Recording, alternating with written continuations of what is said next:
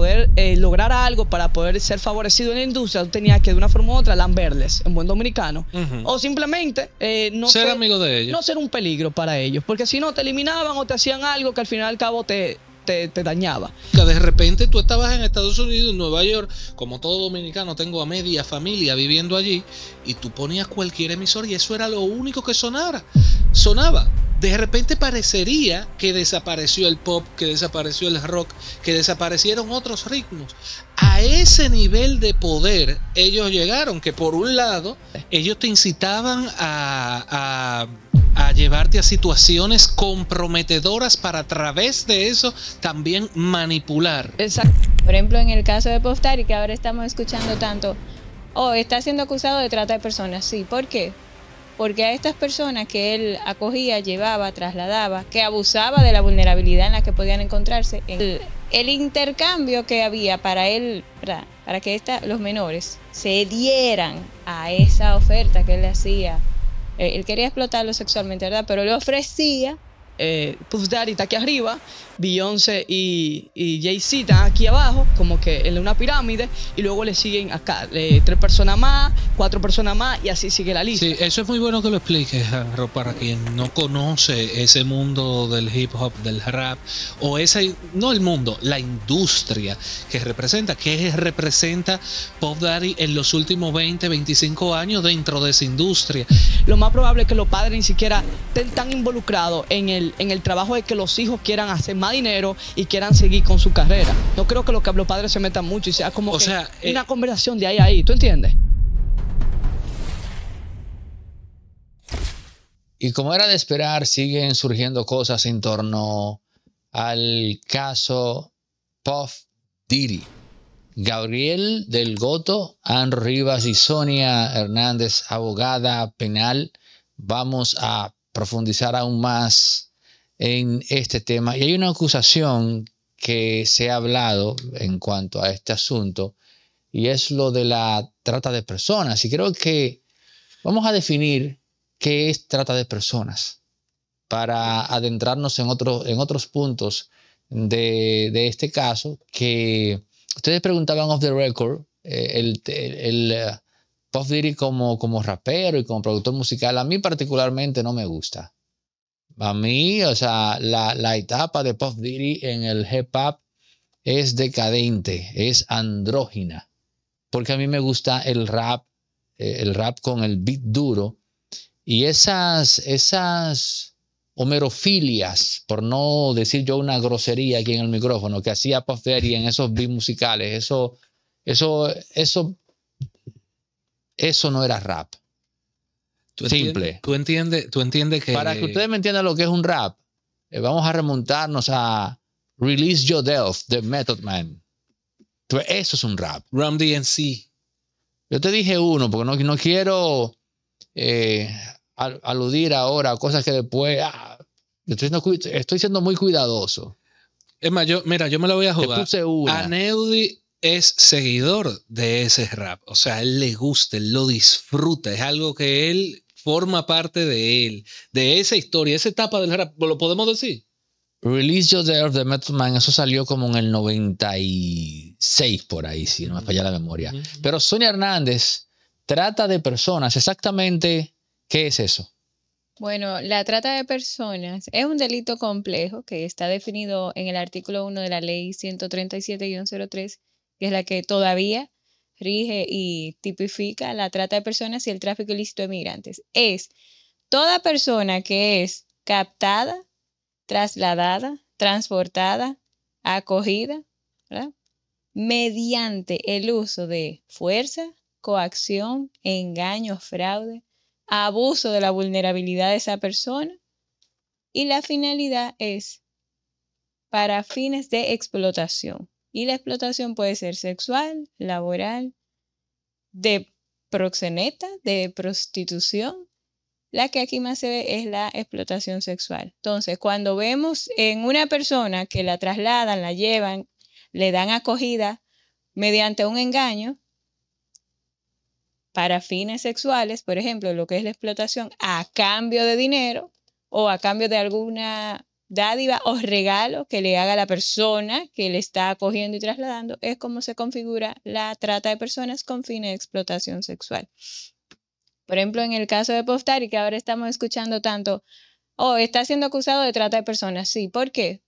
Porque a estas personas que él acogía, llevaba, trasladaba, que abusaba de la vulnerabilidad en la que podían encontrarse, en este caso cuando estamos refiriéndonos a menores de edad, que es una condición de vulnerabilidad, el, el intercambio que había para él, para, que los menores se dieran a esa oferta que él le hacía, eh, él quería explotarlo sexualmente, ¿verdad? Pero le ofrecía un beneficio, una ventaja eh, dentro de lo que es el mundo de la música o que le iba a poner a producir, que lo iban a relanzar como artista y mediante este intercambio, que es un elemento que necesario para configurar la trata de personas, pues entonces lo explotaba eh, sexualmente. Y así se configura, en su caso, trata de personas. También escuché tráfico ilícito de migrantes por las conexiones que hacía en trasladarlos desde un lugar a otro. Entonces, para él se configuran los dos delitos, tanto trata como tráfico de personas. Mira, el caso de la trata es complejo, como ella dice. Yo llegué a trabajar en un caso cuando me anterior trabajo y es que esto va muy de la mano con el tráfico de, sustancias ilícitas, o sea, el narcotráfico.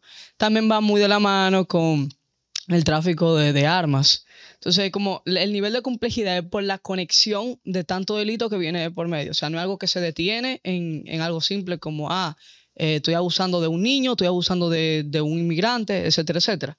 Entonces, en el caso de Puff Daddy, es que él, al tener cierto perfil, de que, por ejemplo, el tráfico de armas está involucrado en cosas pues turbias, como ya se conoce, y que de tanto a eso tenemos una supuesta lista, que yo la, pongo en, bueno, en veremos, por así decirlo, de un sinnúmero de personajes de renombre que aparecen acá. Entonces se ha destapado que, por ejemplo, Justin Bieber eh, fue eh, abusado y que en medio de su, de su canción Yummy, eh, él lo había relatado. O sea, parte de, su canción lo que decía era el abuso que había eh, pues, sido víctima de. Y que a pesar de pues que su comportamiento irreverente y su comportamiento que lo puso en tela de juicio ante una sociedad norteamericana, que es donde está su mayor audiencia, pues básicamente empezó a tomar sentido después que la gente empezó a conocer esto. También hay algunas teorías que se dicen de que eh, algunos artistas, pues trataron de salvaguardar la vida de, unas cantantes, como por ejemplo fue el caso ahora que está vinculando a una situación que, hizo Kanye West mediante uno, una premiación a Taylor Swift, en el cual este le quitó el micrófono a ella y dijo como que, mira, ok, que tú ganaste el premio, pero Beyoncé tiene uno de los mejores eh, videos musicales de la historia. Entonces, como que esto le quitó cierta validación a, Taylor Swift y a ella no le pasó nada. Sin embargo, a artistas como Alia, por ejemplo, misteriosamente ella le gana un premio a Beyoncé y pues un día que iba de viaje, viene, se cae el avión con todo su equipo de trabajo. O en el caso de Liv Eye, por ejemplo, que ella pues fue una competencia muy grande para Beyoncé y estaba creciendo muy, muy grande. Yo creo que ella rechazó, si no me equivoco, una propuesta de Puff Daddy para que trabajara con él y ella pues murió en un accidente en, en Honduras, eh, si no me equivoco. Eh, Pero recuerda que, que Beyoncé está eh, casada con Jay-Z. No, no, claro, e, esa es la cosa, que hay una conexión en todo esto. Para terminar de decir, la cosa fue... Estaba casada, no sé qué fue. Leaf, era la única que iba con cinturón en, en el carro. Y todos quedaron vivos, menos ella. Entonces, es como que algo curioso en el caso, se cerró el caso y nunca no se investigó nada, murió un accidente. Entonces, hay alguna como que pertinencia que ha llevado un sinnúmero de teorías. Entonces, la teoría principal es la siguiente. Eh, Puff Daddy tiene una conexión muy íntegra con Beyoncé y con Jay-Z también. Entonces, la idea es, que eh, Puff Daddy está aquí arriba, Beyoncé y, y Jay-Z están aquí abajo, como que en una pirámide, y luego le siguen acá tres personas más, cuatro personas más, y así sigue la lista. Sí, eso es muy bueno que lo expliques, Ropa para quien no conoce ese mundo del hip hop, del rap, o ese, no el mundo, la industria que representa, que representa Pop Daddy en los últimos 20, 25 años dentro de esa industria, que representa Jay-Z, que representa Beyoncé. Ellos eran los dueños del negocio. Exacto. Eso hay que explicarlo. Sí, esa es la cosa, que lo, para lo que no entiendo, porque es un tema en realidad es un tema muy de... De, De Estados Unidos sobre no, todo. generación Z, por así Ah, decirlo.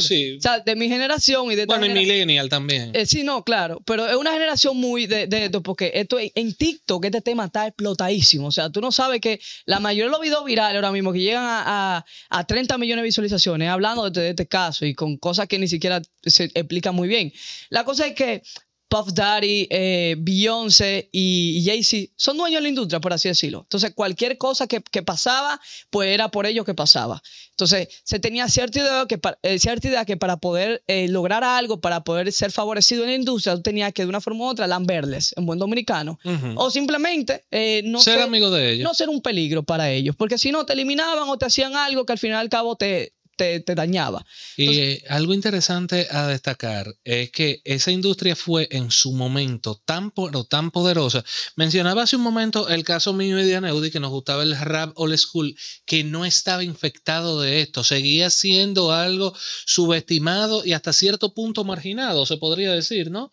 Eh, que respondía a casualidades sociales de la comunidad negra, latina y bueno, las comunidades pobres eh, o empobrecidas de, de los Estados Unidos, de Canadá, de Inglaterra, etcétera. ¿Qué pasa? Esa industria bajo la mano de Puff, de Daddy, de Jay-Z y de Beyoncé, llegó a un nivel, señores, que el rap, el hip hop dejó de ser lo marginal, dejó de ser algo segmentado y dirigido a cierta población, sino que pasó a, invisibilizar todas las otras músicas. De repente tú estabas en Estados Unidos, en Nueva York, como todo dominicano, tengo a media familia viviendo allí, y tú ponías cualquier emisor y eso era lo único que sonara, sonaba. De repente parecería que desapareció el pop, que desapareció el rock, que desaparecieron otros ritmos.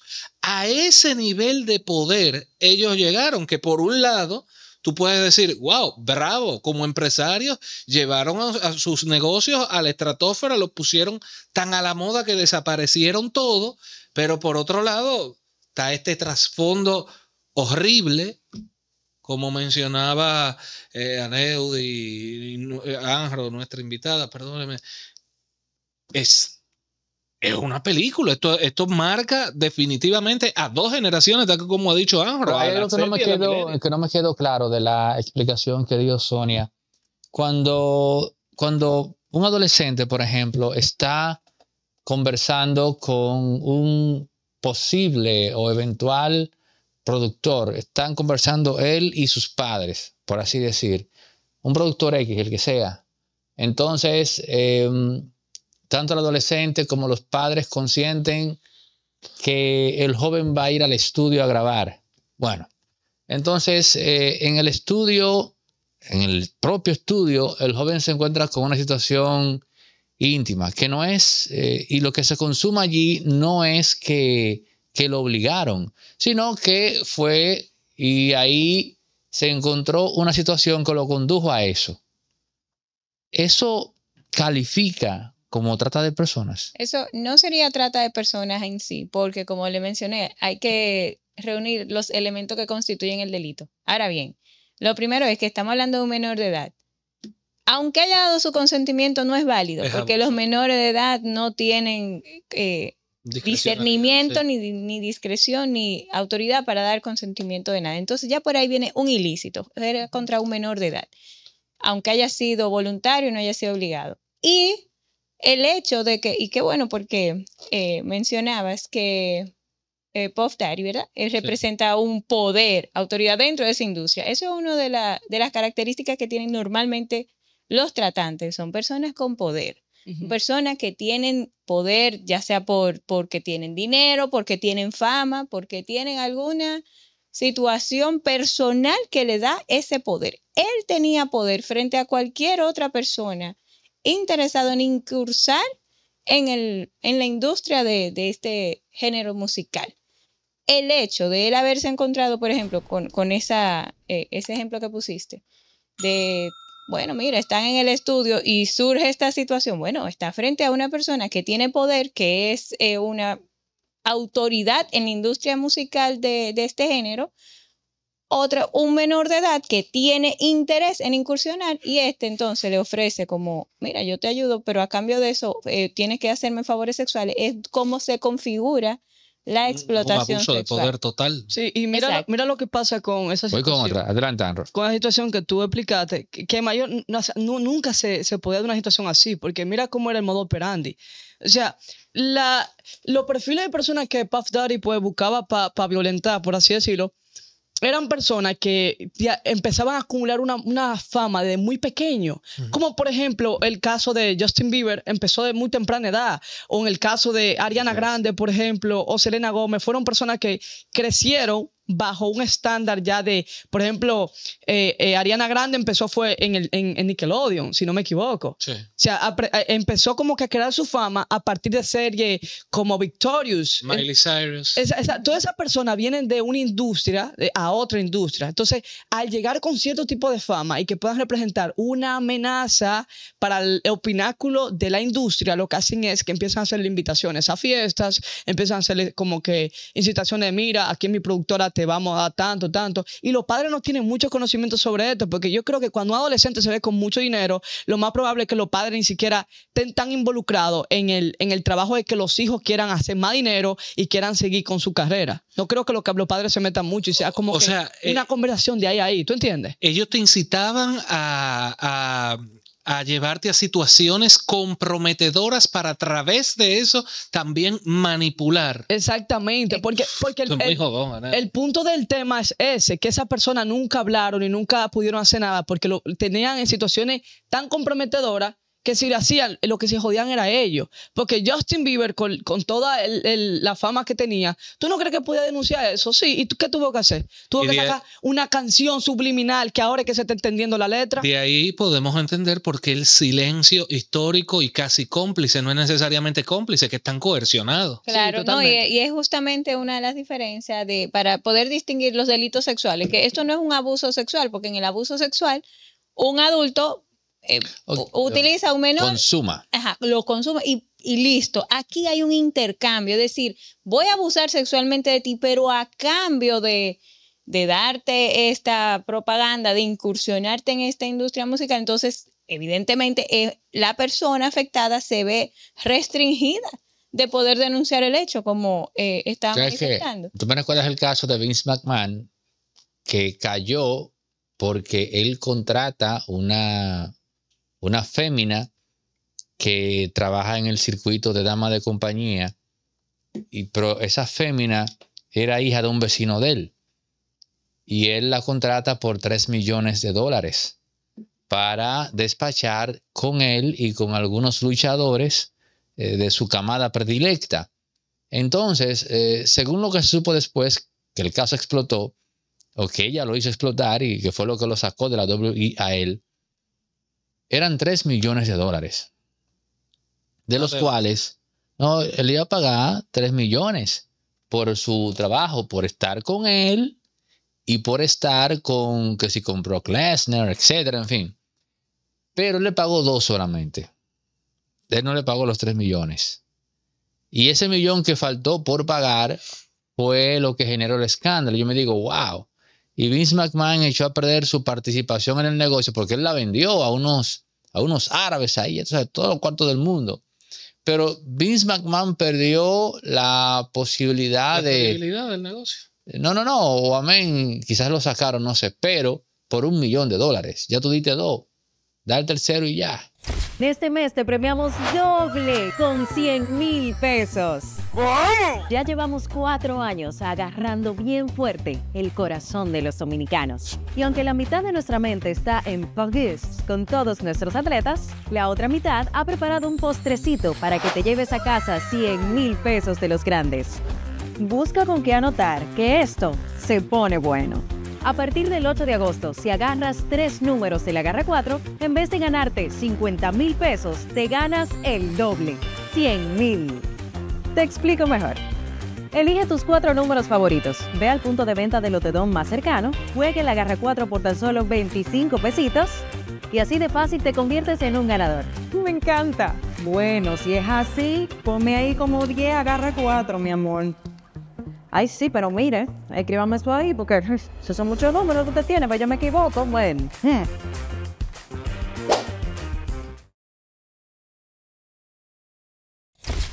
Y fue por eso que se explotó ese caso. Sí, ese, ese es uno de los misterios también de, de estos temas, que se mantienen tanto tiempo escondidos. Y entonces uno como latinoamericano, uno tiene tan idealizada la justicia en Europa, la justicia en Estados Unidos, pero hay algo detrás que en verdad cuando tú analizas la teoría conspirativa de los republicanos, que te dicen de que hey, hay una camada de gente que hace cosas turbias, que hace cosas muy feas, que le hace daño a niños, Que hace cosas mefíticas, Claro. cosas nefarias. empiezan a tomar sentido cuando tú ves estos casos explotar. Y yo entiendo que en este caso no vamos a conocer todo. Seguramente, oye, yo estoy 100% seguro, con, toda, con todo peso te lo digo, estoy 100% seguro de que en este caso hay mucho más cosas turbias que no vamos a conocer nunca. Que quizás nombres de personas más fuertes y más influyentes están metidas en cosas turbias con, con Puff Daddy y que probablemente, adivina, ni siquiera lo lleven a juicio y Puff Daddy termine como Jeffrey Puff Diddy, se se llama Puff Diddy ahora. Sí. Sí, él se cambió el nombre como 20 veces. Exacto. Pero me, me llama poderosamente la atención la ramificación que haces eh, con el Deep State. Porque desde que Roma era Roma, el mundo del espectáculo suele confundirse bastante con el mundo del poder. Y no tengo pruebas, pero tampoco tengo muchas dudas. ¿Ah? Eso es un tipo de poder. Sí, claro, claro que es un poder, claro que es un poder totalmente. Y la verdad es que yo creo que socialmente estamos viendo cierto ocaso en valores que nos remitan hacia lo humano. Este tipo de cosas, qué bueno que salgan a la luz, que se impida que sigan pasando, porque esa es la forma en que tú frenas este tipo de, de que este tipo de cosas se repitan. Porque tú tal cual lo has dicho. O pasa como Jeffrey Epstein, que misteriosamente... ¿Qué palabra puedo usar para que YouTube... Lo no- liquidaron, lo Sí, liquidaron. bueno, pero en, en una celda solo apareció, ¿no?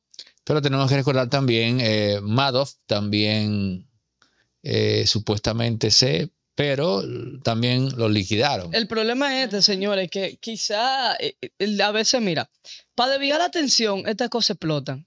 Y cuando hablo de, de desviar la atención, es que si a él lo descubren con algo tan turbio, en un país tan delicado con la justicia, el sentido de justicia, es porque hay muchas cosas detrás de él que en algún momento eh, pueden poner en jaque mate a otro grupo que sea mucho más grande. Estas cosas no, no van a dejar de pasar, van a pasar siempre.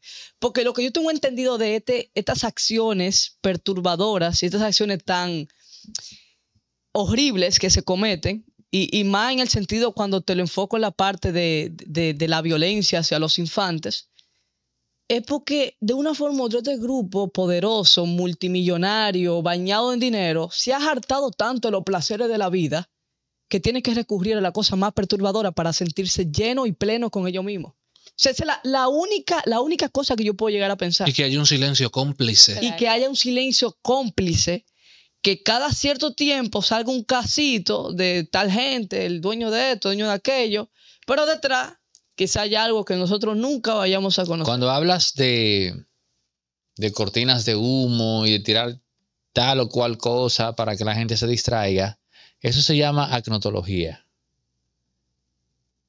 ¿Sabes qué es eso, acnotología? No, ¿qué es? Todos los estados del mundo tienen un departamento de especialistas en acnotología, que es básicamente una especie de ciencia social que se encarga de eso que tú planteas, de elaborar narrativas de, entre comillas, información.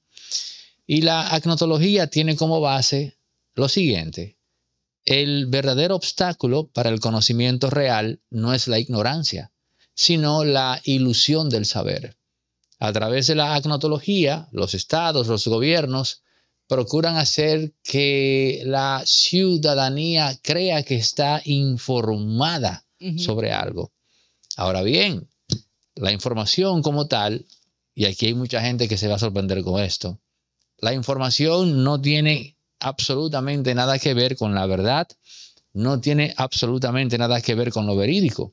Pero la verdad asimismo, tampoco tiene casi nada que ver con la realidad. Me estás recordando mucho a Foucault, tú. Oye, escucha, escucha, no, no, no, para nada. ¿Qué Y te escucha? decía, porque la realidad es un todo. Sí. Ahora, la verdad es siempre un fragmento de esa realidad que es un todo. Por ejemplo, ahí tú tienes esa cortina que es negra, etcétera, pero yo decir que esa cortina es negra no engloba que hay una pared blanca y que la cortina forma parte de una pared blanca que es de un penthouse. O sea, esa sería otra, una parte más amplia de la realidad. Pero la verdad concreta es que esa cortina es negra y punto. Ahora, la información como tal, te dije, no tiene que ver absolutamente nada con la verdad ni con la realidad. De hecho, la información es competencia, compite con la realidad porque lo que plantea es básicamente construir una realidad. Mm. Entonces, Porque al final del día la verdad es el poder de proponer tu verdad como la única Pero todo eso, que, verdad. todo eso que te he dicho, todo eso que te he dicho, cualquier estado organizado en el mundo te maneja ese tema en términos filosóficos. Y la gente que está ahí inventando cosas sabe perfectamente qué es la información, sabe perfectamente qué es la verdad, sabe qué es la realidad y te, te maneja el tema a nivel filosófico. Ahora, hay millones de imbéciles, millones de pedazos de carne, millones de estúpidos que cuando tú planteas esto, te dicen, eh, te, lo, te lo ponen en duda. Mira, te voy a dar otro dato. El FBI, la CIA y todos los organismos de inteligencia importantes del mundo, o cualquiera que se respete, tienen un departamento de psicología. Un departamento de psicología, o sea, un departamento de psicólogos. Ve cogiendo por ahí. Entiéndase psicología como el estudio pertinente del comportamiento y el Y pensamiento. oye lo que hace, oye, lo, oye esto, este dato que te voy a dar. Oye lo que hace el Instituto Tavistock, que está en, Ingla- en Sussex, Inglaterra. Agarran el libro En búsqueda del pájaro azul de la felicidad de Maurice Maeterlinck. Si tú vas a ser agente o si tú vas a trabajar en el Tavistock, tú tienes que aprenderte ese libro. Porque ellos detectaron que ese libro es uno de los textos más importantes, si no el que más, en cuanto al manejo de la complejidad del ser humano. Entonces, para tú adentrarte a pretender estudiar la mente humana, te dicen, pásate por aquí, ven, y le dan un curso completo hablándote de ese libro, Repite el nombre del libro, Anaudi. En búsqueda del pájaro azul de la felicidad. Ok. Es, es como un texto, si se quiere, eh, fundacional, es falte- parte del ritual para tú trabajar en ese instituto, es leerte ese libro. Claro, te lo leen ellos, si sabes a qué me refiero. Sí. En fin, o sea, que eso que tú planteas, y como bien dice Gabriel El Goto, que viene desde Roma, pero forma parte de, de la esencia del poder de entender cómo manejar al ser humano. Porque como ustedes sabrán, cuando el poder es impuesto, tiene un menor grado de eficacia en torno a qué tanto yo voy a durar. Yo tengo poder, yo tengo fuerza, ah, pero espérate. Como dice Harari, poder no es sabiduría. Poder no es sabiduría. Ahora, ¿qué si es inteligente? ¿Qué si es sabio? Hacer lo que plantea Edmund Burke. El poder que se diluye en la cultura. Porque al ser humano no le agrada saber que lo están oprimiendo. Pero ¿qué ocurre cuando tú lo oprimes, pero tú disfrazas eso? Tú obtienes entonces un poder más duradero. Claro, porque la persona entiende que esa idea se le ocurrió a él, que nadie tiene que ver con eso. Los romanos tenían una frase que todo el mundo la, he- la ha escuchado. Panis et circenses. circo. Y Pan Puff y circo. Y Puff Diddy tenía su circo. Exacto. El poder con Puff Daddy tenía su circo. La cosa con el Bad Boy Records. la cosa con el poder, que la, la gente no, no lo visualiza así, que quiere que el poder se detiene donde cree que está en la punta de la pirámide. Entonces eso es lo que pasa con Puff Daddy, que el poder no, nunca se, se va a detener aunque lo agarre, aunque lo maten a él. No, Es que yo estoy seguro que ni siquiera el, el negocio de Puff Daddy, Jay-Z, Beyoncé era únicamente de ellos. obviamente no. O sea, es, Ese es- negocio no era de ellos, eso- tú lo sabes. Mira, lo que, lo que pasa es que eso, si tú estudias más o menos cómo funcionan algunos, algunos, algunas red eh, de criminales o algunos circuitos de narcotraficantes, tú entiendes que los carteles, de una forma u otra, le deben a, a otra figura, le deben a, a- a otro sistema delictivo que está por encima de ellos. Entonces, cuando tú los combinas, y tú, o sea, al tú combinarlo, tú de una forma u otra llegas a la conclusión de que todo circuito delictivo siempre va a tener a algo por encima. Y algo que va muy ligado con el poder, porque los circuitos delictivos son sistemas de poderes que se basan en, en dinero, que si influencia, que si en dominio. O sea, el dominio del miedo entre- de la gente, el dominio de, de X área, en este caso el dominio de la industria musical. Claro, Es no, por y, el- mira, y para agregar, por ejemplo, eh, es que es crimen organizado y por eso esto es parte de, lo, de la Convención de Naciones Unidas de la criminalidad organizada y es como un iceberg. Tú Ujú. ves solamente lo que tú puedes ver, pero cuando tú te adentras en la investigación, es todo un mundo de redes, de conexiones, de personas involucradas, de cómo trabaja una red con otra, todo ese engranaje para poder desmantelarlo es mucho lo que hay que investigar y profundo. Entonces, como tú decías ahorita, puede que no salga todo porque va a ser demasiado. Ahí quiero dejar esto sobre la mesa. Siempre, en cualquier tipo de escenario, y esto es una realidad, todo poder detrás del poder acaba siendo poder político. No estoy implicando nada, no tengo evidencia de nada, no he profundizado en la materia P. porque a mí nunca me gustó ese tipo. nunca. Pero, pero algo me sugiere por ahí hay un olorcito, porque suele suceder que todo poder detrás del poder es poder político. Bueno, eh, hay un aspecto psicológico para tú actuar, eh, como dicen por acá, a lo que coja mi bon. Bueno, o tú te sientes apalancado en el dinero, o tú sientes que tu propia historia, venir desde abajo, dices, bueno, eso te convalida a ti mismo. Cuando tú ves una persona que tiene talento, pero que pretende, digamos, tocar tu puerta, eso inevitablemente te despierta el sentido del poder más allá de. Y cuando digo del poder más allá de, me refiero a esto. Ahí hay mucha gente, aunque esto es especulativo, pero hay mucha gente que, que pasó por ahí que a él o a gente como él no le representa nada económicamente hablando. Cuando ya tú eres exitoso económicamente, tú desarrollas otro sentido del poder o de la afiliación humana más allá del dinero. O sea, yo soy exitoso, un ejemplo. Tú vienes donde mí, bueno, yo no tengo por qué pensar que tú me vas a sumar dinero. O pongamos Juancito Pérez porque voy con algo macabro.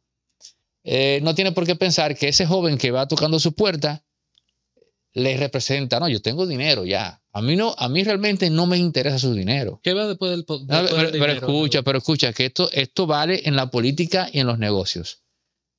Esto es muy humano. A mí no me interesa su fuerza de trabajo. A mí no me interesa su arte. Ah, pero yo tengo poder. ¿Y cómo yo manifiesto ese poder en él? Ya entendí por dónde vas. Sometiéndolo. Claro. Pero si yo no quiero su fuerza laboral, si no quiero su dinero, yo no lo voy a someter como, no, yo lo voy a someter en el ámbito, o sea, o fulano más bien lo va a someter en el ámbito íntimo. Y voy a, voy a, y voy a llevar eso al sentido amplio.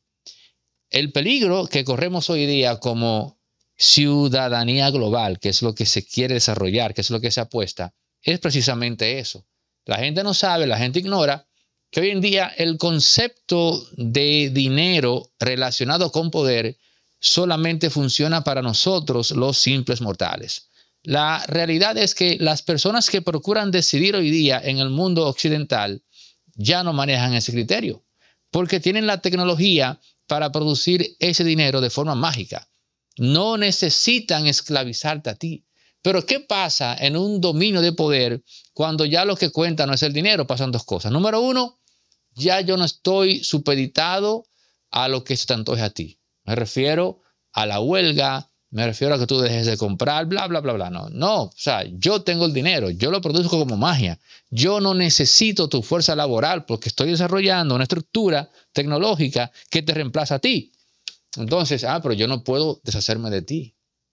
Tengo el poder, pero no puedo deshacer, no te puedo aniquilar en masa, no puedo despachar a 7 mil millones de seres humanos. ¿Y qué yo hago? Bueno, yo tengo dinero, tengo los mecanismos para producir, lo único que me queda como ser humano es someterte, es esclavizarte.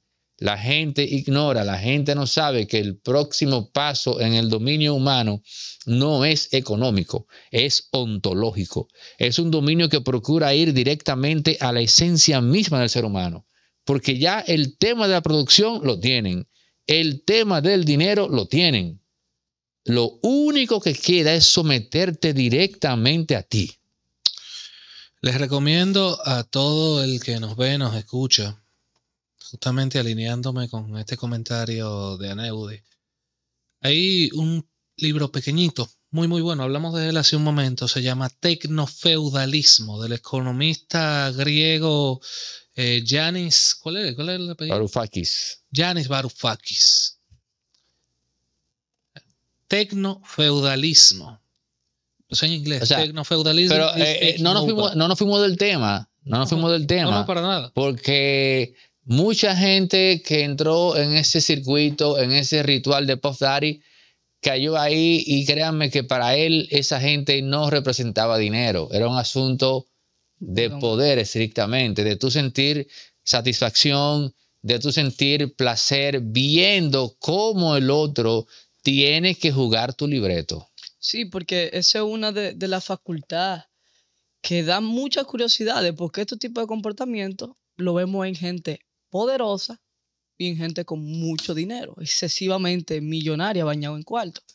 Entonces, lo que yo he sacado a conclusión es que esta gente está tan alta, en buen dominicano, alta, capitaleño con la L, de los placeres seculares de la vida, que por ejemplo nos podemos sentar un día, nos tomamos un vinito y nos sentimos bien.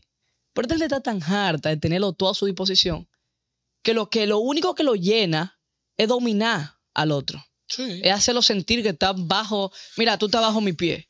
O hacer la cosa más eh, escalofriante y fea que puedan hacer. Mira, para mí no hay algo más feo que hacerle daño a un niño. Y precisamente esta gente que se representan como que eh, este, este como que esquema de poder o de, de riqueza en, en la sociedad que vivimos, son las personas que precisamente hacen este tipo de cosas. Que, bueno, ahora es que lo, lo, lo están dando a conocer. Y yo digo que realmente este, este caso de Puff Daddy hay que ver. Hay mucha teoría, hay muchas cosas que no las vamos a ver realmente, que nunca se van a publicar, pero lo más probable es que termine como, como Jeffrey Epstein. Eh, Gabriel El Goto. No sé qué más añadir a. Con este tipo de temas, la verdad es que sale a relucir que tenemos un problema social bastante serio, basado en cuáles son las expectativas reales de la humanidad. Creo que el norte nunca debió dejar de ser que el ser humano esté en el centro. Y ahora mismo, la realidad Repite que el, repite eso, que el norte nunca debió dejar de ser. que el ser humano está en el centro. Ahora mismo estamos jugando con una moneda al aire y te voy a explicar por qué digo esto.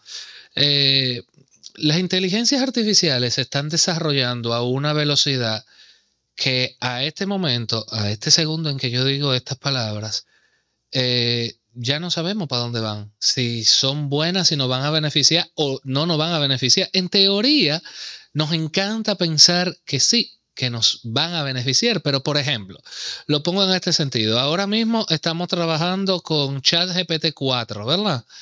Eh, ChatGPT 4, según los teóricos de inteligencia artificial, es un joven de 12 años a nivel de inteligencia práctica. Pero ChatGPT 5, 5.5, ChatGPT 6, ya estamos hablando de niveles de genio. Es decir, que va a competir con la inteligencia de cualquier ser humano, no importa cuánto doctorado tenga, porque ya toda la información está cargada en la nube, está cargada en la red y esa inteligencia artificial tiene acceso permanente a esa información. No entiendan la palabra inteligencia. Inteligencia significa no conocimiento. El conocimiento ya está en el Internet, ya está en la nube colga- colgado. Inteligencia significa qué hacer con dicho conocimiento, con el conocimiento cinético de la movilidad de mi cuerpo, con el conocimiento que yo tengo incluso atlético, el- aquel que juega bien basquetbol, eso es un tipo de inteligencia. Aquel que sabe regular sus emociones, eso es un tipo de inteligencia también.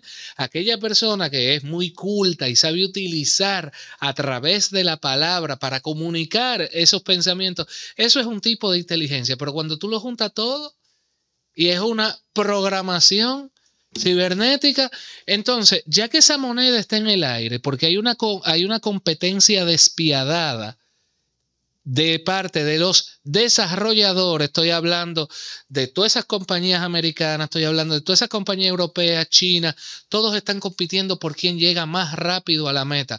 Yo no creo que haya nadie diciendo, oye, pero esto está mal, que esta vaina sepa tanto, que- esta vaina entienda tan bien. Entonces, sí, ahí te respondo con lo que me preguntabas.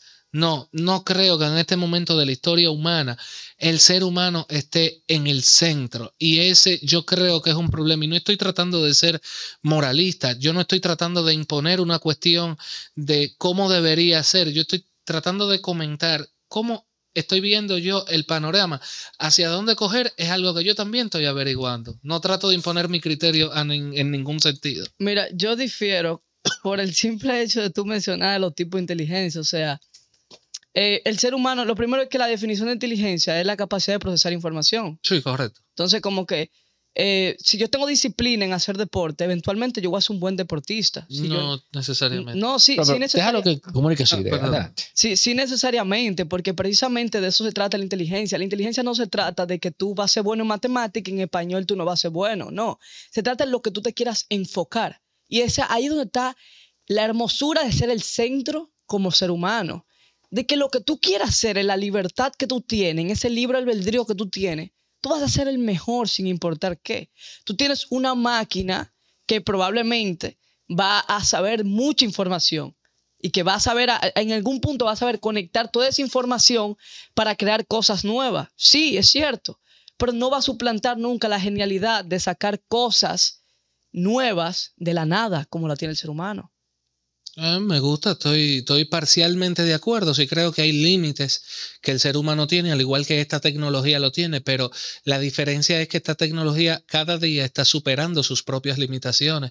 Entonces, por, ah, yo solamente estaba respondiendo la pregunta de Aneudi con relación a que por qué el ser humano yo pensaba que no estaba en el centro en este momento. Y lo digo también porque nosotros nos estamos tomando muy a la ligera el paso de la humanidad como especie, como nuestro lugar ante, ante el mundo. Tenemos un occidente que ya niega de sí mismo. El occidente hasta hace 50, 60 años que era el cristianismo. Ya Occidente, el, el- el pensamiento liberal entiende que todo con todo cabe y eso no altera tu identidad.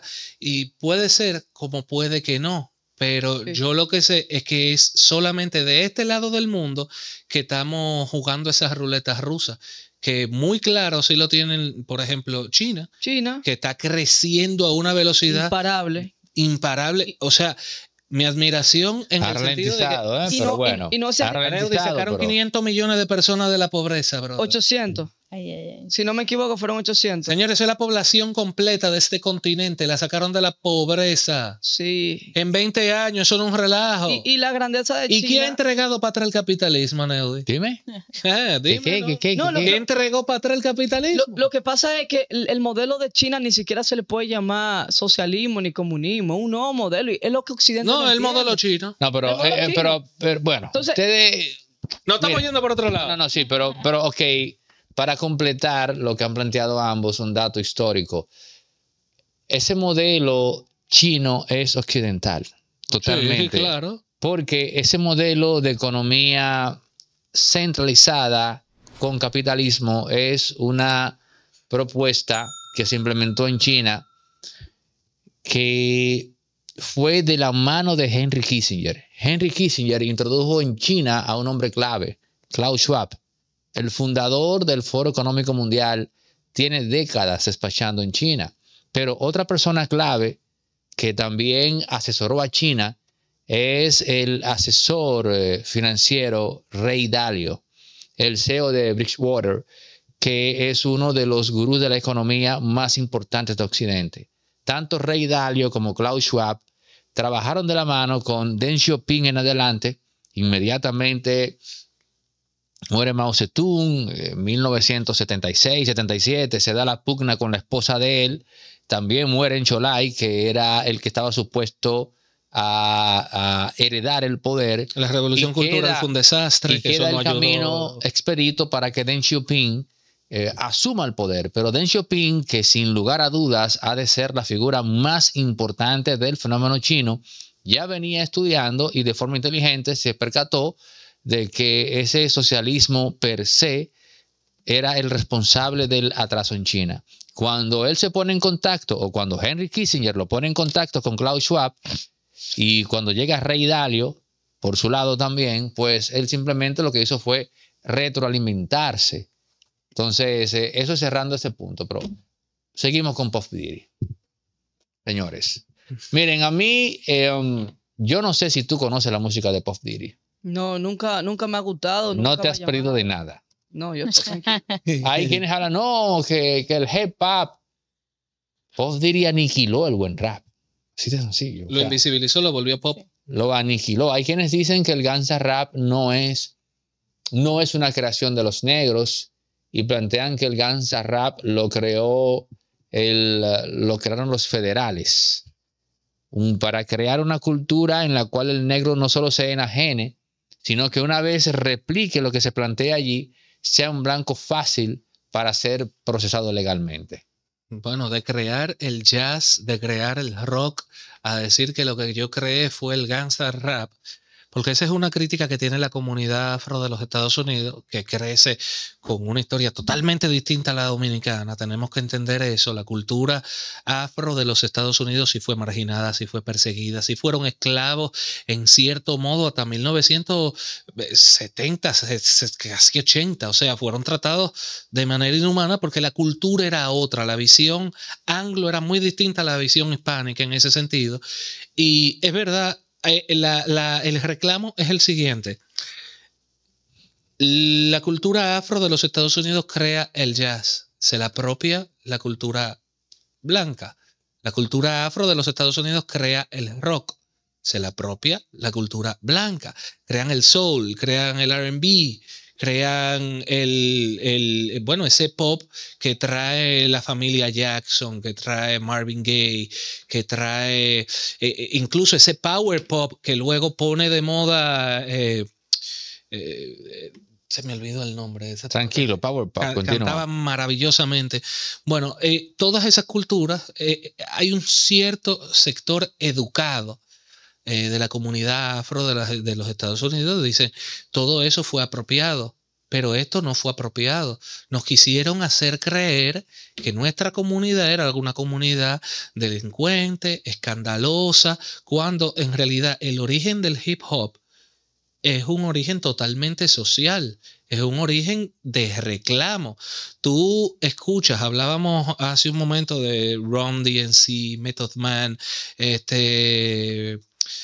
eh, ¿cómo era que se llamaba? Master. Master J. Sí, tú esos tipos hacían denuncias políticas serias, inteligentes, porque no existe. La batalla cultural es una realidad. Ha existido, hay, hay miles, hay una bibliografía extensísima que habla sobre esto, y a través de la cultura es que tú transmites mejor ideas.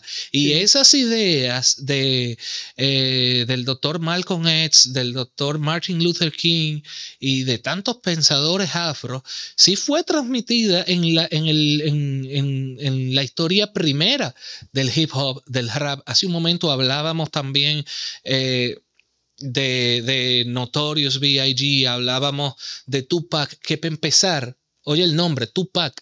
Tupac fue el, el, el gran luchador de la cultura incaica. El gran oponente de, de los, de, los, de, de los españoles, el tipo que organizó efectivamente cierto nivel de resistencia. O sea, Tupac era hijo de una comandante de las Panteras Negras. Su madre participaba en un grupo bueno, sí, era socialista, comunista en aquel momento, pero era un grupo que estaba luchando contra los poderes fácticos de un Estados Unidos que en ese momento, de los años 60, 70, era profundamente racista. Sí. Entonces, sí había un componente social que ese grupo de, de, de P. Diddy, Puff Daddy, Puff Diddy, como sea que se llame, sí trató de extraer de esa cultura y volverlo únicamente un fututo vacío comercial para sacarle Y, cuarto. y hay una vinculación entre Tupac y P. Diddy, de que tuvo que ver con el asesinato. de- No, no, no, eso es, eso yo diría que eso es un bulo, un mito. un- Mira, yo, ok, eh, tú eres abogada penal, ¿verdad? Ajá. Tú tienes experiencia em, trabajando casos con personas que han estado involucradas en, por ejemplo, vinculación con la con intento de aniquilar a otro. Te ha tocado estar frente a frente con un con una persona presuntamente culpable de algo a ese nivel. Sí. Ok, chequeen esto. Claro, esto es una. Yo no tengo por qué defender a Puff Diddy en esto, en ese tema en particular. Ahora bien, cuando a él se le preguntó directamente sobre ese tema en una ocasión, él le dijo al periodista en cuestión, al comunicador, mira, yo te respeto, pero yo no, yo no, no voy a sumarme a ser copartícipe de, de ese tipo de cosas, de informaciones. eh". Ok, eso fue lo que respondió Puff Diddy. Tú puedes decir, bueno, lo encubrió bien, le sacó el pie. Ahora, a mí me parece mucho más revelador, tú dijiste tú, ¿verdad? A mí me parece mucho más revelador y mucho más comprometedor lo que dijo Chunai, el manager de Tupac, cuando le preguntaron al respecto. Eso fue algo escalofriante, humanamente desgarrador. Chunai, que ha de ser la persona más depravada que dio el siglo XX por encima de Hitler y no estoy o de Stalin y no estoy exagerando. Oh, wow. ¿Qué dijo Chunai? Yo no, yo, yo sé quién mató a Tupac. Yo sé quién lo mató.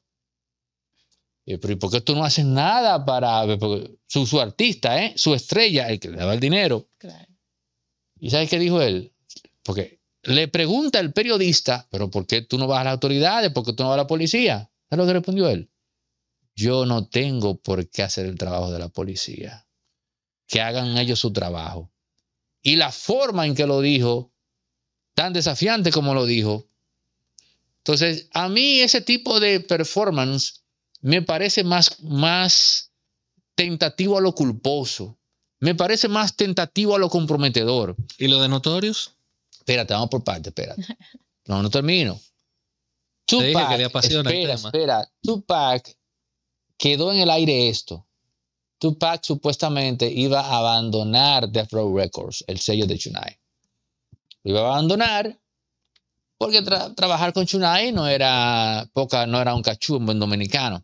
Pero también abandonar eh, Death Row Records significaba el desembolso de 10 millones de dólares por allá por el año 1996, donde 10 millones de dólares era todo el dinero del mundo. Yo recuerdo que a Greg Maddox, para que tengas una idea, en su mejor momento, precisamente en 1997, le dieron un contrato de 11 millones de dólares por año al pitcher de Atlanta.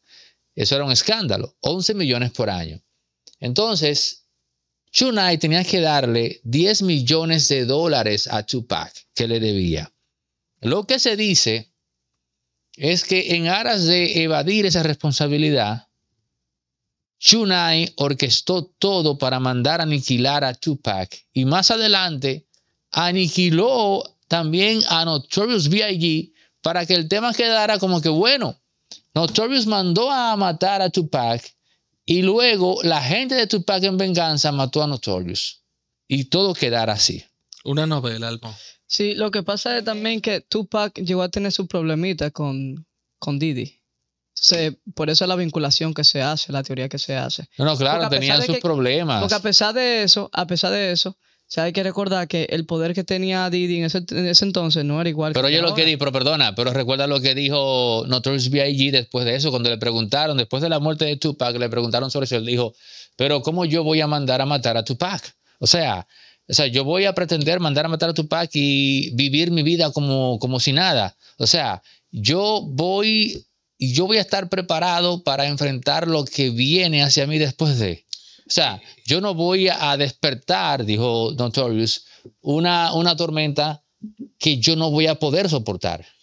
No, y la realidad sí hay que decirlo. Ese momento fue algo, o sea, ese es uno de los grandes misterios de la sociedad completa de Estados Unidos. Estoy hablando de algo que marcó una generación completa. Sí. Total, justamente después del caso de O.J. Simpson, ya no se toleraba esa clase de disparate. Esa clase de vaina ya no, no estaban en tolerarlo. Y es algo que siempre se quedó sin esclarecer. Se le adjudicó a que sí, que un tema de pandilla, pero ay, por favor, nunca en la vida. Nunca en la vida. Fue algo que marcó. Fueron dos tipos, los dos exponentes más grandes en su momento compitiendo uno contra el otro, que eran amigos inicialmente. Ojo, había respeto. Yo nunca vi, lo digo porque en, su momento yo, lo seguía los dos, y nunca vi una falta de respeto pública de parte de ninguno. No, al contrario. Había cierto nivel de respeto. No sé si coincides o si tuviste algo No, no, yo. eh, fue una forma pendeja en la cual se distanciaron. Sí. Eh, hay dos teorías. Recuerda el tema de que la visita que le hizo a New York, Tupac, al estudio de grabación donde estaba Puff Daddy o Puff Daddy, whatever, como se llamaban en aquel entonces, y Notorious grabando, él iba a grabar también. Pero subiendo al estudio lo interceptaron y le entraron a tiros. Esa era la segunda vez que lo hacían. Entonces, casualmente vienen bajando, eh, vienen bajando Notorious y Puff Diddy, y cuando lo ven, según dice, según dice Tupac, no, no vio en ellos la acción que se esperaría al ver una persona sangrando y a tiros. Los eh, dice él, o decía él, que él los vio como que no tenían sorpresa. Aparentemente no la tenían porque ellos esperaban eso. La otra versión era que supuestamente ellos sabían que habían emboscado a Tupac en New York, pero ellos, que eran sus amigos, o sea, Puff Daddy y Notorious, no le dijeron nada. En ambos casos, él responsabilizó, o sea, lo que sea, él responsabilizó a Diddy y a Notorious de ese tema. Y por ahí comenzó el asunto. Así de simple. Complejo. O sea, dicen por ahí que las tragedias son malos entendidos que solo se aclaran cuando todo el mundo está muerto. Esa frase se la adjudican a Shakespeare. Ahora bien, ¿qué yo creo? Oye la palabra. ¿Qué yo creo que pasó realmente? Hay que decirlo así porque nunca se sabrá por lo visto. Esto va a terminar como lo de Kennedy. Pero bueno, Tupac tenía un lío ahí viejo con unos eh, gangsters ahí de calle o unos antisociales de una acusación de ultraje a una mujer. Tú que eres abogada penal, él estuvo involucrado en 1992, 1993 con, eh, con una, un asunto con una mujer blanca para colmo. Entonces, él y unos amigos de la calle, amigos ellos, porque el- la desgracia aquí es que él no tenía por qué estar en esos coros, pero él pensaba que porque era Tupac, pase lo que pase, le iban a respetar. Grave error. Pero bueno, entonces, la mujer en cuestión la, la, la emborrachan, etcétera, en fin. Y entre él y dos o tres amigos más, en buen dominicano, le dan para allá. La joven en cuestión después sale con una acusación de ultraje. Este tipo, pam, pam, pam, pam, tal, me dieron, ah, me acorralaron una, una habitación, ¡pra! a Tupac lo metieron preso. Estaba acusado de ultraje también a esa mujer. Estaba mal preso, ¿verdad? De allá para acá, y aquí fue que vino el pacto con el diablo, fue que vino Chunai. Chunai metió dinero y se las ingenió para sacar a Tupac. Pero sacar a Tupac libre significaba que tenía que darse una maniobra jurídica para inculpar solamente a los demás y dejarlo libre a él como inocente. Pero hacer eso es equivalente a traición en la calle. Estamos los cuatro haciendo el coro, los cuatro lo hicimos, pero ahora tú porque apareció fulano, un par de millones, un abogado, qué sé yo, ahora resulta que los culpables somos nosotros. y tú quedas libre, clean. Tupac salió. Pero salir libre se lo debía a Chunai. Por eso el, el- el- por eso el tema de que él firma con Death Row Records y dejó a aquella gente encharcada en la cárcel con una acusación de ultraje a una mujer Blanca. para colmo. Yo digo que fue ese tema el que le pasó factura a él. Digo yo. Yo creo que fue O ahí. sea, lo- esa, esa gente, los remanentes de, de ese tema pendiente, fueron los que mandaron a liquidar a Tupac. Igual. Pero esa, esa, esa es una- mi es una hipótesis. teoría. Tiene, claro. tiene más sentido realmente, pero o sea, igual con el tema de P. Diddy, eh, se, se tiene entendido ya que a, a las personas que el daño fue bastante y que pues, o sea, fue como una, una mano fantasmal en la industria. Y es una pena que justamente eh, Tupac, Notorious, Notorious, para el que no lo sepa, era un hijo de mamá. O sea, su actividad principal era compartir tiempo de calidad con su familia, que era su madre. Y Tupac era un nerd de biblioteca, se pasaba el día leyendo poesía, escribiendo, malas amistades. Exacto. Justamente. Malas amistades los que, él entendía en su cabeza que esa gente de la calle lo iba a respetar porque, era, porque él era Tupac. Ellos no el eran los representantes del gangsta rap, para nada. Eran muchachos normales, tranquilos, que llevaban vida, que debido a circunstancias se habían metido en lío, en uno que otro problema. Ser pobre es una jodienda. Esa es la realidad. Esa es una realidad. Pero si tú analizas cuáles eran los hábitos de ellos en soledad, notorios, compartir con su madre, oír música vieja de la que oía su madre, y Tupac, leer, dibujar, escribir. Bueno, de hecho, a mí me encanta Sonia, Anro, eh, Gabriela. A mí lo que más me fascina de Tupac es esa, y te lo puedo recomendar. ¿Tú lees en inglés? Te lo puedo recomendar. Es esa mezcla que él hace de esa jerga de calle, pero como. Yo, yo diría que básicamente la sintaxis sí. depurada, pero espérate, Despura- depurada con palabras literarias Imágenes. incrustadas. O sea, o sea, yo no sé, o sea, como el negro que tiene ese etos de la calle, pero con una sintaxis ordenada y con palabras literarias en su inglés. O sea, eso es fascinante, usar términos como alluring, qué sé yo, en fin, que son vocablos literarios, Es que lo que le poéticos. era la poesía. Entonces, eso, esa mixtura, eso es arte. Sí. Tiene que como tú mezclas, este- como tú mezclas esto con esto. Eso es Mira, fenomenal. mira, este tema, este tema am- am- abrió en un abanico a Neudi hoy. La verdad es que el tema Puff Diddy, wow, qué, qué película de terror, ¿eh? Sí. Y qué amplio. Cuántas cosas cierra, Pero pero, mira, cuántas otras abre. A mí, a mí me. Y ahora que comienza. Ahora es que está empezando. Ahora, Puff Daddy es un padre, Puff Daddy es un padre ejemplar. Ejemplar para el público, ¿verdad? no, no, no, no, Él tiene sus dos hijas, ves las fotos. ¿Te acuerdas de una con- hija que tenía adoptada? con Una niña blanca adoptada. Ella está dentro de la acusación. ¿Qué dice ella? Dime. No, Cuéntame, tú dejaste lo mejor, tú dejaste lo mejor ella- para el final. ella Cuéntame. fue víctima también de trata. Fue una niña blanca que básicamente estaba viviendo en condición de calle. Él adquirió la tutoría legal de esta niña siendo una menor de edad. O sea, sus padres autorizaron que, fue, que tuviese el apellido Combs. Mm.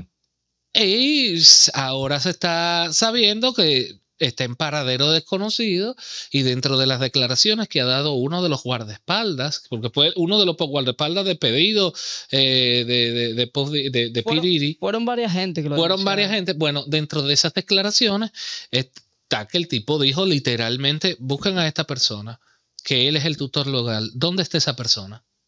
O sea, esto es profundo, esto pica y se Wow, extiende. Sí, sí, sí. O sea, tú- Fue grave. pa- padre ejemplar para el público, pero Padre ejemplar en las fotos. Yo creo, yo creo que sí, que él puede sentir amor por sus hijas, Sí, totalmente. No, de- no describamos un monstruo tampoco. Exacto, claro. claro. eh, sus hijas sanguíneas, ¿no? El, o sea, el ser humano es un animal complejo, Anro. 100%. Un animal muy, pero muy complejo. Entonces, a eso le llaman capas de humanidad. Mira, déjame para decirte dónde nace la conexión de toda la teoría que yo dije ahorita. Hay una canción que se llama She Knows. O sea, She Knows. Ella sabe. Que es una combinación de parte del apellido de Jay-Z y parte del apellido de Beyoncé. Ah, Oh. Entonces la canción menciona a, a personas como Michael Jackson, que en su momento dijo que Tommy, Tommy era un diablo. ¿Cuál? Espérate. Tommy Motola. Tommy Matone era un diablo. Tommy Motola, sí. En su momento en una grabación dijo, esta gente es muy, muy poderosa, puede matarme de una sobredosis, puede hacerme lo que sea y puede controlar el- los medios, o sea, puede controlar todo lo que pase. Eh, habla de Alía, bueno, que- quisieron dejar a Michael Jackson históricamente como un. Como, sí, exacto, Sí, como, como que él abusaba Ujú. también de menores y ha descubierto que no, que nada que ver. totalmente. Que Michael Jackson fue inocente y que de hecho trató de de defender. defenderlo. Entonces, eh, asimismo, eh, con Alía, eh, menciona la canción Alía y pues Alía muere en un accidente extraño en una aeronave que se estaba movilizando con su equipo y menciona a Left Eye precisamente. Entonces, como que la canción te da este indicio que la gente no le ¿De llegaba. quién es esa canción? Es de Jonas, no sé, es un, nuevo, es un artista emergente realmente. Así que te lo voy a dar después de esto porque tengo que buscarlo. Hay que incluir en la descripción de este video el nombre de, de esa canción. ¿no? Ajá. Sí, pero es una canción que se utilizaba para hacer como que edits de series y de películas. Como que por, por situaciones muy eh, como que eh, de investigación o situaciones muy de, por ejemplo, la tipa le descubrió los cuernos al novio o el, o el novio le descubrió los cuernos a la tipa. Esa canción se utilizaba para eso, era. Para eso se utilizaba esa canción, así fue que se volvió viral. Y en estos días, con este caso, fue que la gente hizo la conexión completa. Para que tú le llegues.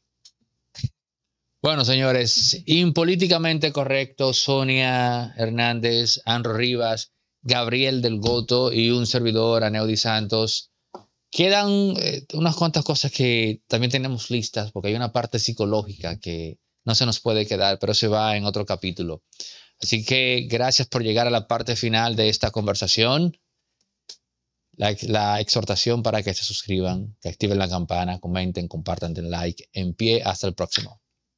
Atención a todos los profesionales, emprendedores y empresas medianas y pequeñas que quieren tener su contenido de calidad circulando por las redes sociales, dando a conocer sus servicios. En Resorte Media hemos habilitado una unidad audiovisual especializada en la producción de contenido corporativo, empresarial y para todo aquel emprendedor que quiere acogerse a aquello de que dice que una imagen vale más que mil palabras en efecto, podrás tener las mejores imágenes, la mejor calidad al precio más competitivo del mercado para dar a conocer tu servicio a todos acá en República Dominicana. E incluso si tu empresa capta clientes en el extranjero, también podrás contar con eso. Contáctanos, escríbenos al 829-741-361 para que arranques desde ya a colgar contenido en tus redes sociales con la mejor calidad audiovisual posible, la que Resorte Media pone a tu disposición con el presupuesto más eh, asequible del mercado.